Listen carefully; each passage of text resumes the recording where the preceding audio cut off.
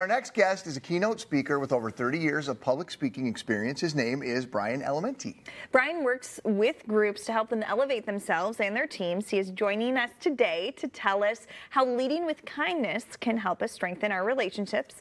Welcome to the show, Brian. Well, thank you both. Appreciate it. So your, your message is leading with positivity. And I, I, particularly in the world that we're in right now, this feels like a very, very hard thing to do, or at least that a lot of people aren't leading with positivity.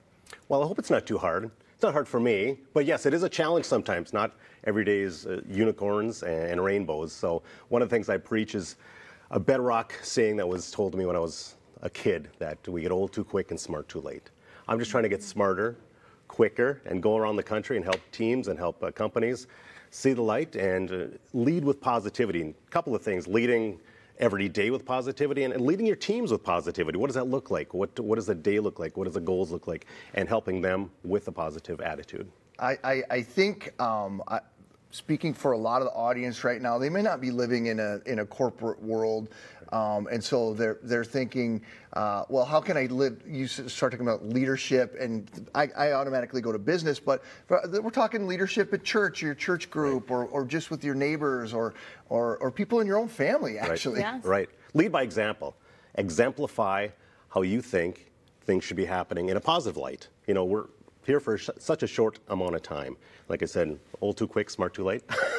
trying to get smarter quicker yes. each and every day. We all have people that are gone too quick. So I'm trying to lead by example with my family in the corporate world and so on. That's a great reminder. I, I would consider myself a fairly positive person, but I think, you know, you can get into funks or seasons of life and right. that you need some of those reminders. So one thing I've been doing is changing my mindset from have to to get to. Get to. Yeah. I, I don't have to go to work. I get to go to work. You know, and things like that can make a world of a difference in your mindset in day-to-day life. It can. I say a mind shift. Yes. Yeah, that little bit of a mind shift. And when you get that stinking thinking in yeah, one ear, out the other. Like Hopefully it goes quick. And it's an honor. Sometimes you say, well, I'm busy, I'm busy. Well, it's a blessing. It's an honor to be busy. We're so fortunate.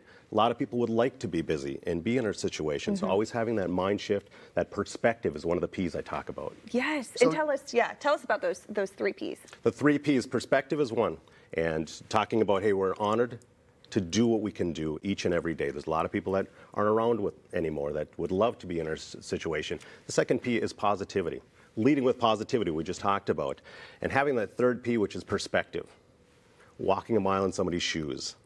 Making sure that you're aware of your situation, taking stock of what you have, but also being perspective, having that perspective of others too. I, I, like you've got another one. I like you make these very easy to remember yeah. the three P's and the three G's. Tell us about the three G's. They have to be easy to remember. Yes. I'll forget them. Yeah, yeah. the three G's, gratitude. So today's Thursday.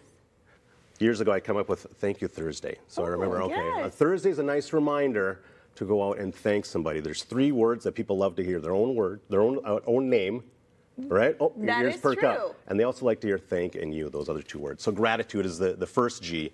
Second G is generosity. Not everybody has a ton of dough, but we can give back with time, mm-hmm. with energy, a smile. I believe in the smile science. If I smile, you just smile. Look at that. Just like a yawn. We're yawning inevitably you want to yawn. When you smile, it is tough to get people to smile sometimes too, and um, it does make a difference when you.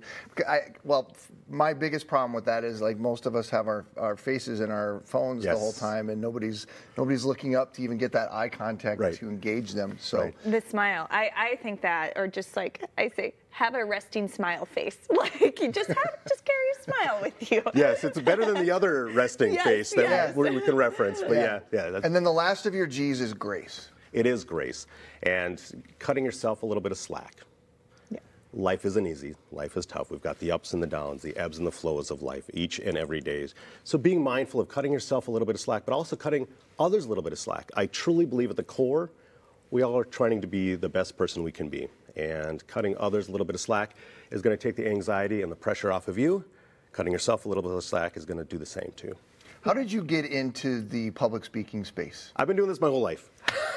Third grade, Mrs. Peplin Jack's class. Well, I, was I say, I, we, said, we said you've been doing this for 30 years, and I'm doing the math, and we're probably, I think you're even younger than I am. So I was like, well, yeah, you must have got going real young. Real young, but even high school, uh, college, I was very fortunate to be asked to do various speeches and so on and so forth. And I just carried that through my professional life and professionally been doing that as a master trainer and a training manager and up in front of people helping others. And this is what I was born to do. Everybody has a passion. Yes. And if you can use that passion, which is another P, use that passion to help yourself out, help others out. Life is too short. Make it worthwhile. I, and I just love your underlying message of kindness, you know. And my grandma always says you get more bees with honey. And so sometimes even if I'm trying to, if I'm mad at customer service for something, I'll just take a deep breath, and most chances they're going to respond so much better. You know, if, if you're just happy or kind, you know, Yes. even in most cases in life. I agree, I, wholeheartedly. Yeah. I'm- Well, Brian, thanks so much for stopping by today. Nice, pleasure. nice to meet you. And you folks at home can't see, but